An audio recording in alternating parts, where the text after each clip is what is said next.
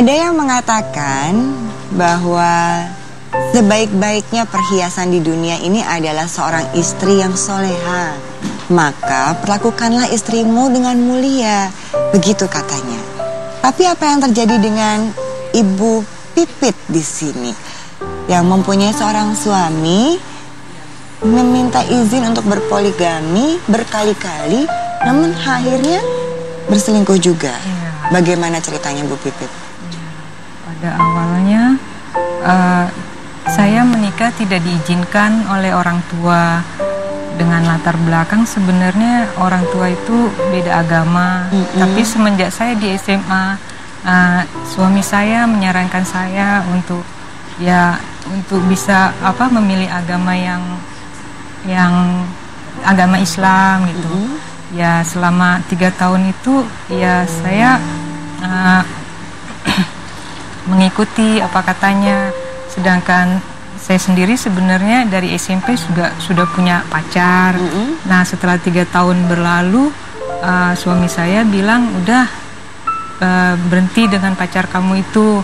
Maka saya kawin sama suami saya yang ini. Mhm. Setelah suami saya uh, saya kawin dengan suami saya yang ini selama enam tahun berjalan itu tidak ada masalah sama sekali. Nah kemudian tiba-tiba uh, suami saya bilang saya mau itu kawin lagi. Terus saya bilang nggak usah, nggak nggak bisa dengan suasana ekonomi yang seperti ini gitu. Hmm. Saya sendiri tidak di apa dengan orang tua nggak dekat gitu. Jadi saya berpikir uh, bagaimana caranya bisa saya memberikan izin menikah, sedangkan saya sendiri uh, ya bukannya tidak tercukupi, ya ekonomi lemah lah istilahnya gitu. Mhm. Ya jadi ya saya hanya Dengan alasan apa sih Bu boleh tahu nggak kenapa suami ingin minta izin untuk menikah lagi? alasannya itu saya juga kurang jelas karena kan saya itu eh, menikah itu kan eh, menikah lari ya jadinya nggak direstui sama orang tua jauh dengan saudara. Nah setelah saya berkorban segala sesuatunya setelah enam tahun tuh anak saya lahir perta ya anak pertama saya lahir enam tahun dia meminta izin untuk menikah lagi. Saya itu kan nggak mengerti kenapa harus kayak begini gitu. Suami nggak bilang alasannya kenapa? nggak ada alasan hanya mau menikah aja. Sunnah katanya gitu. Sunnah. iya saya antara terima nggak terima karena pada awalnya dasarnya saya itu kan agamanya beda ya Mm-mm. jadi ya saya di di apa diluruskan ke orang tua laki Islam or- orang tua perempuan saya kan Kristen jadi saya bertanya-tanya apakah di dalam Islam itu seperti ini gitu loh Ini, Ragu, baik. curiga Bu Pipit, maaf ya tadi kan saya bilang katanya berkali-kali sampai tiga kali Sampai minta tiga izin. kali Betul minta begitu. izin. Iya. Dalam Nah, jarak waktu yang, yang berbeda-beda. itu umur eh, anak saya umur 6 tahun, tiga tahun ya, terus kemudian enam tahun, kemudian terakhir ini umur 26 tahun anak saya ini belakangan ini, makanya saya pergi ke sini untuk membuka eh, yang ada dalam hati saya Baik. gitu. Ibu boleh tahu nggak ini suami tuh minta izin untuk menikah lagi dengan perempuan yang sama? Itu-itu juga atau berbeda? Setiap dia minta kawin lagi tuh perempuannya berbeda, jadi setiap lokasi yang dia temui selalu ada perempuannya gitu. Oh suami sering pergi keluar kota Enggak, gitu keluar atau? kota pindah pekerjaan dalam dua tahun pindah pekerjaan lain lagi perempuannya gitu. Hmm. Baik, Ibu datang ke curahan hati perempuan ingin bertanya ya, Iya. karena di sini juga ada Mbak Vera Uli sebagai psikolog, ada Mbak Oki sebagai ustazah kita. Apalagi tadi eh, Ibu menyatakan bahwa kata suami ini sunnah untuk menikah lagi, Mbak. Mbak Oki sudah senyum-senyum nih dari tadi gitu ya. saya saya ingin kita juga nggak hanya Ibu Pipit ya, kita juga semua ingin tahu sebenarnya bagaimana sih posisi tersebut. Iya, eh, ada beberapa hal. Pertama saya mau bahas tentang mu'alaf dulu. Bahwa di dalam agama Islam, lakum dinukum waliyadin untukmu agamamu, untukku agamaku. Artinya tidak ada paksaan dalam beragama. Kalau mau milih agama tertentu, eh, dalam hal ini misalnya mau memilih agama Islam ya silahkan. Dengan keriduan hatinya, lillah karena Allah. Kalau enggak juga silahkan menurut agamanya masing-masing. Jadi tidak ada paksaan yang pertama. Kemudian kedua untuk memperlakukan mualaf, mualaf ini adalah orang yang baru berhijrah yang dosanya bersih sama sekali. Ketika menuju ke jalannya Allah bersih tidak ada dosa. Namun ia perlu dibimbing ia kan tidak tahu apa-apa, perlu dibimbing. Dalam hal ini suami yang harus membimbing. Kemudian suami kan kawamnya pemimpin. Kemudian ada ustadz, ada ustadzah yang harusnya membimbing, mengajari banyak hal. Jangankan mu'alaf, orang Islam yang dari bayi, dari kecil aja kadang harus belajar terus tentang Islam. Apalagi mu'alaf yang baru uh, memasuki Islam. Jadi harus uh, ada bimbingan. Ini yang menarik masalah uh, poligami tadi. Mm -mm. Poligami, banyak orang mengatakan ini kan sunnah. Aku mau mengerjakan yang sunnah. Poligami tidak sunnah loh bu. Hmm. Poligami itu dibolehkan, bukan sunnah. Sunnah itu artinya dianjurkan. Utama kalau dilakukan. Tidak, poligami di, dibolehkan. Namun juga tidak diharamkan. Tapi bukan sunnah hukumnya.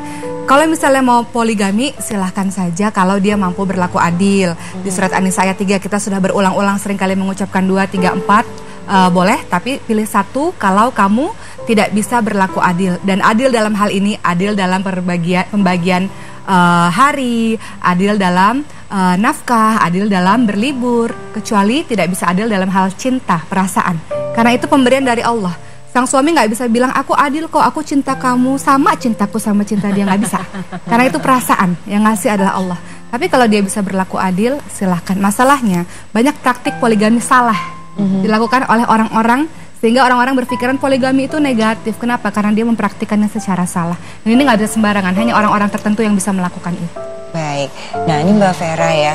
Tadi pilihannya gini tidak mengizinkan suami poligami juga karena salah satunya alasan ekonomi ya nggak bisa iya. berbagi ini aja sudah bisa. sulit apalagi iya. ibu sendiri karena jauh dari keluarga jadi saya terbayang nih betapa bingungnya ibu Pipit saya saat ini itu, ya apakah di dalam Islam seperti ini hmm. gitu tadi jadi sudah dijelaskan sama satu pertanyaan ya. deh iya. ini Mbak Maudi kita berikan kepada Bu Pipit ya Bu dulu masuk agama Islam itu atas arahan siapa ya Uh, sebenarnya mami masuk agama Islam, uh. tapi itu prakteknya sehari-hari itu masih masih apa ya, condong betul. ke Sehingga Kristen. ketika ketemu dengan pasangan Anda, pasangan saya seperti anda, apa tuh mendapat apa bertemu dengan seorang malaikat gitu oh. ya. Oh begini ya Islam. Jadi kan kayaknya takjub banget gitu. Kemudian nah, dia membawa Anda. Saya, saya dibawa setelah enam hmm. tahun bertahun kok enam tahun berlalu kenapa saya mendapatkan hal yang demikian kaget hmm, lagi seperti mendapat benturan itu dia gitu. Mbak Maudi jadi polanya udah ada gitu yeah. loh jadi kalau kita punya pasangan hmm. perhatikan pola pasangan Anda yeah. yang pertama pola pekerjaan Berhati-hatilah dengan laki-laki yang pekerjaannya berpindah-pindah karena yeah. ada indikasi dia punya masalah secara emosional yang dia nggak bisa tanganin. Hmm. Dia punya masalah dalam bertanggung jawab.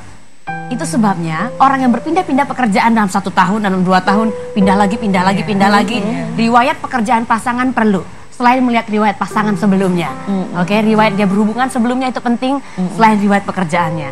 Nah, satu lagi berikutnya, udah pindah-pindah pekerjaan. Yeah. Kemudian yang kedua, ya dia meminta anda untuk yeah. masuk ke agamanya dia. Yeah. Artinya apa? Dia yeah. adalah orang yang selalu ingin dimenangkan di secara emosional. Ingat, yeah. relasi kita ketika berpasangan itu seimbang, mm -hmm. equal istilahnya.